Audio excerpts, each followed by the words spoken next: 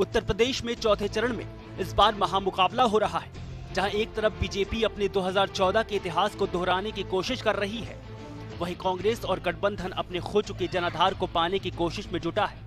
बात इटावा की करें तो सपा अध्यक्ष अखिलेश यादव के गृह ज़िले की इस सीट को बीजेपी ने 2014 के चुनाव में एसपी से छीन लिया था। बीजेपी ने इस बार इस सीट से वर्तमान सांसद अशोक कुमार दोहरे को टिकट काटकर आगरा से सांसद रामशंकर कठेरिया को मैदान में उतारा है।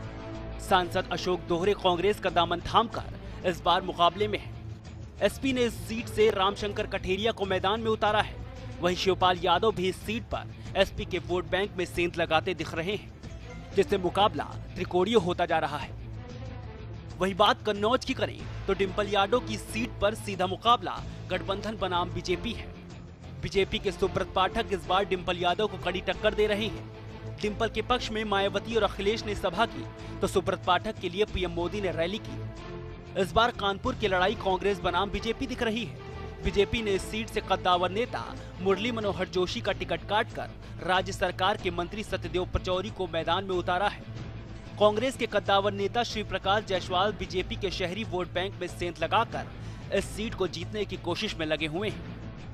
गठबंधन उम्मीदवार रामकुमार मुकाबले को त्रिकोणीय बनाने की कोशिश तो कर रहे हैं।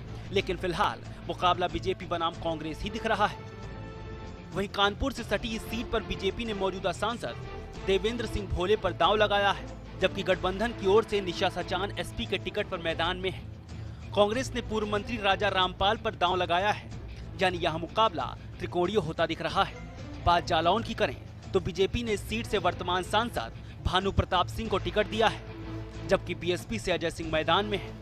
कांग्रेस ने इस सीट पर पिछले चुनाव में बीएसपी से नंबर दो पर रहे ब्रजलाल, खबर को टिकट देकर लड़ाई को त्रिकोणीय बनाने की कोशिश तो की है, लेकिन मुख्य मुकाबला, यहाँ भी बीजेपी बनाम गठबंधन ही दिख रहा है। झांसी में केंद्रीय मंत्री उमा भारती के चुनाव लड़ने से इनकार के बाद, बीजेपी ने सीट पर बैद्यनाथ ग्रुप के मालिक अनुराग शर्मा पर दांव खेला है। एसपी ने अपने पुराने चेहरे सीपी सिंह की जगह इस बार श्याम सुंदर सिंह को मैदान में उतारा है। कांग्रेस ने भी अपने पुराने चेहरे प्रदीप जैन, आदित्य की बजाय शिवशरण कुशवाहा पर दांव खेला है। यानी इस सीट पर सभी पार्टियों ने नए चेहरों पर दांव खेला है। वहीं हमीरपुर सीट पर बीजेपी ने मौजूदा सांसद कुंवर पुष्पेंद्र सिंह चहल पर दांव लगाया है। गठबंधन की ओर से बीएसपी के टिकट पर दिलीप सिंह मैदान में है। कांग्रेस ने अपने पुराने चेहरे प्रीतम सिंह लोधी पर एक बार फिर दांव लगाया है।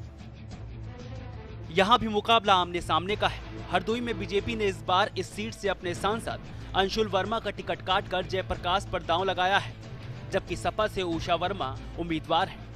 कांग्रेस ने इस सीट पर वीरेंद्र कुमार को टिकट दिया है। 2014 चुनाव में मिले मतों के आधार पर अगर विश्लेषण करें तो सपा बसपा का वोट बीजेपी के वोट से बहुत अधिक हो जाता है। अब तेईस मई को ही साफ़ हो पाएगा कि चौथे चरण में उत्तर प्रदेश की जनता ने किसे अपना नेतृत्व तो सौंपा है। Bureau Report, India News.